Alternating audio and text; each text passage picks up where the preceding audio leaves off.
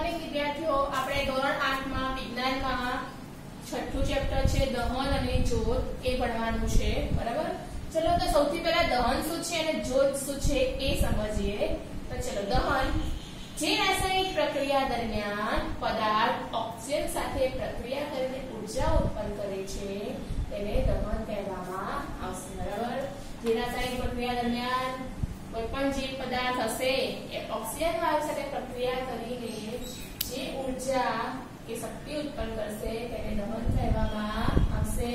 આ દહનના પ્રકાર ત્રણ છે, એક ઝડપી દહન સ્વયંસ્ફુરિત દહન અને ત્રીજું છે વિસ્ફોટ બરાબર તો જોઈએ સૌથી પહેલા તો કે ઝડપી દહન એટલે શું?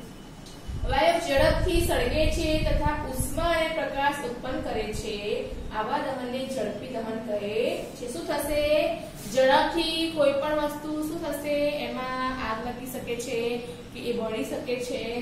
તો એને ઝડપી દહન. દહનનો સિમ્પલ જોઈએ તો કે કોઈ વસ્તુ બળવું એવું થાય છે. બરાબર?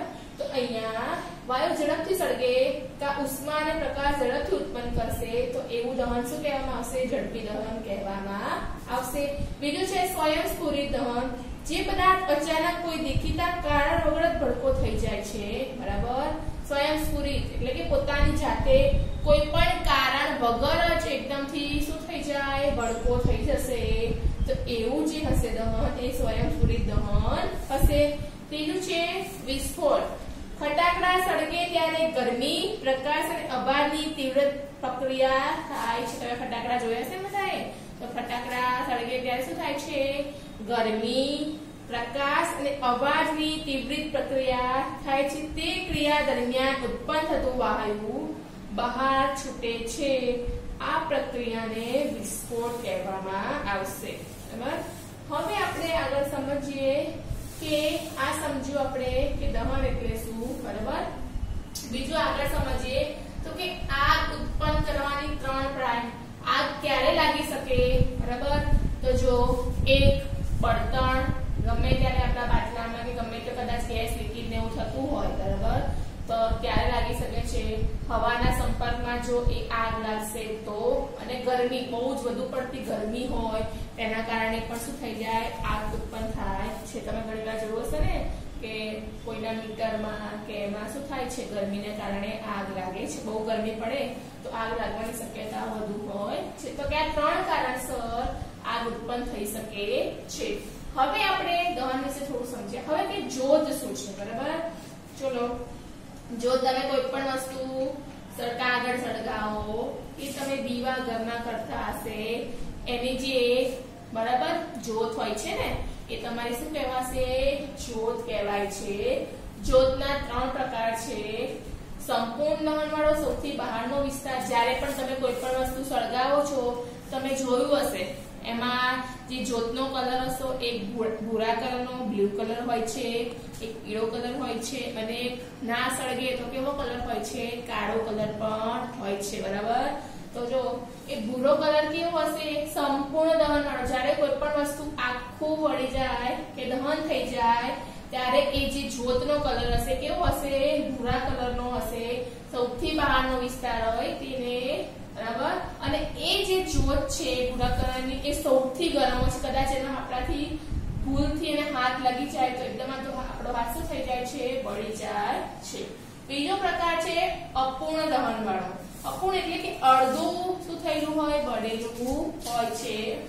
અડધું સળગે, મધ્યનો વિસ્તાર તે સૌથી ઓછો એટલે કે મધ્યમ ગરમ હશે અને કેવા કલરનું હશે? પીળા કલરનું. તમે જો સળગાવો તો ઉપરનો જે કલર હશે ભૂલા કલરનો હોય, બીજો વચ્ચેનો પીળા કલરનો હોય છે, મધ્યમ ગરમ કહેવાશે એને. બરાબર? અને ત્રીજું છે, ન દહન થયેલ મીણની વરાળ વાળો સૌથી અંદરનો વિસ્તાર. બરાબર? જે વસ્તુ થોડું સળગે અને પછી શું થઈ જાય? બરાબર? એકદમ ઓલવાઈ જાય છે. તો એ જે હશે, એ સૌથી અંદરનો વિસ્તાર કહેવાશે. અને કેવા કલરનો હશે? કાળા કલરનો હશે. કદાચ એને આપણો હાથ લાગી જશે. બરાબર? ભૂલથી તો શું થશે? આપણને દજાશે તો ખરું, પણ શું? ઓછું દજાશે આપણને. તો કે આ ત્રણ પ્રકાર છે. સંપૂર્ણ દહનવાળો, અપૂર્ણ દહનવાળો અને ન દહન થયેલ પદાર્થ જ્યોતના ત્રણ પ્રકાર છે. બરાબર? હવે આપણે આગળ સમજીએ.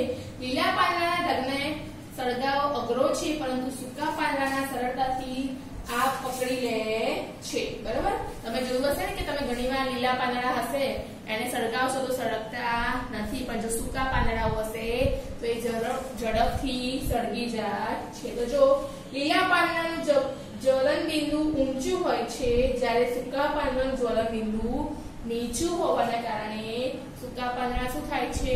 ઝડપથી સળગી જાય. પેલાનું જ્વલન શું છે? ઊંચું છે. જ્યારે સૂકા પાંદડા જ્વલન કેવું છે? નીચું છે. બરાબર? પછી આગળ. CO2 કઈ રીતે આપણે નિયંત્રિત કરવા માટે વપરાય છે? તમે ઘણીવાર કોઈ હોસ્પિટલમાં, સ્કૂલોમાં મોટા મોટા મોલ્સમાં, જે લાલ કલરના બોટલ જોયા હશે ને એ લાલ કલરના બોટલમાં કયું વાયુ હોય છે કોઈને ખબર છે? તો લાલ કલરના બોટલમાં CO2 કાર્બન ડાયોક્સાઇડ વાયુ હોય છે. જેના કારણે એક આગ ઉપર શું થાય છે, નિયંત્રિત કરી શકે છે? તો જો CO2 HCl કરતા ભારે વાયુ છે અને તે આગની ફરફતે ધાબળારૂપી આવરણ બનાવે છે તથા બળતણનું તાપમાન પણ નીચું લાવે છે. ઓક્સિજન કરતા કેવો વાયુ છે?